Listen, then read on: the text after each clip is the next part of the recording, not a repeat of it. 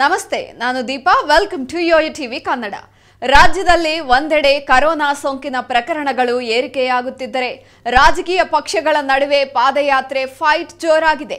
ಮೇಕೆದಾಟು ಯೋಜನೆಗಾಗಿ ಆಗ್ರಹಿಸಿ ಕಾಂಗ್ರೆಸ್ ಜನವರಿ ಒಂಬತ್ತರಿಂದ ಹಮ್ಮಿಕೊಂಡಿರುವ ಪಾದಯಾತ್ರೆಯನ್ನು ನಡೆಸಿಯೇ ಸಿದ್ಧ ಎಂದು ಹಠಕ್ಕೆ ಬಿದ್ದಿದೆ. ರಾಜ್ಯ ಸರ್ಕಾರ ಕೋವಿಡ್ ಕಠಿಣ ನಿಯಮಗಳನ್ನು ಜಾರಿಗೆ ತಂದಿದ್ದು ಇದಕ್ಕೆ ಕಾಂಗ್ರೆಸ್ ಆಕ್ರೋಶ ವ್ಯಕ್ತಪಡಿಸಿದೆ. ಮೇಕೆದಾಟು ಪಾದಯಾತ್ರೆ ಹತ್ತಿಕ್ಕುವ ಸಲುವಾಗಿಯೇ ನಿಯಮಗಳನ್ನು ತಂದಿದ್ದಾರೆ ಎಂದು ಕೈ ನಾಯಕರು ಟೀಕಿಸಿದ್ದರು. ಇದಕ್ಕೆ ಸಿಎಂ ಬಸವರಾಜ ಬೊಮ್ಮಾಯಿ ತಿರುಗೇಟು ಕೊಟ್ಟಿದ್ದಾರೆ. ಕರೋನಾ ಎಲ್ಲರಿಗೂ ಒಂದೇ ಅಲ್ವಾ? ಕೋವಿಡ್ ಕಾನೂನು ಪಾಲನೆ ಮಾಡುವುದು, ಬಿಡುವುದು ಕಾಂಗ್ರೆಸ್ ಮುಖಂಡರಿಗೆ ಬಿಟ್ಟ ವಿಚಾರ. ಆದರೆ ಸರ್ಕಾರ ಸೂಕ್ತ ಸಮಯದಲ್ಲಿ ಸೂಕ್ತ ಕ್ರಮ ಜಾರಿಗೊಳಿಸಲಿದೆ ಎಂದು ಮುಖ್ಯಮಂತ್ರಿ ಬಸವರಾಜ ಬೊಮ್ಮಾಯಿ ಬುಧವಾರ ಕೆಪಿಸಿಸಿ ಅಧ್ಯಕ್ಷ ಡಿಕೆ ಶಿವಕುಮಾರ್ ಅವರಿಗೆ ಪರೋಕ್ಷವಾಗಿ ಎಚ್ಚರಿಕೆ ನೀಡಿದರು. ಹಿಂದಿನ ಎರಡು ಅಲೆಯ ಅನುಭವದಿಂದ ಕೆಲವು ಕ್ರಮಗಳನ್ನು ತೆಗೆದುಕೊಳ್ಳುವುದು ಅವಶ್ಯಕ.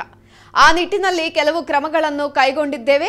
ಕರೋನಾಕ್ಕಾಗಿಯೇ ಒಂದು ಕಾನೂನು ಇದೆ. ಆ ಕಾನೂನು ಅನ್ವಯ ಅನುಸರಿಸಬೇಕು ಎಂದು ಮಾತಿನಲ್ಲೇ ಚಾಟಿ ಬೀಸಿದರು.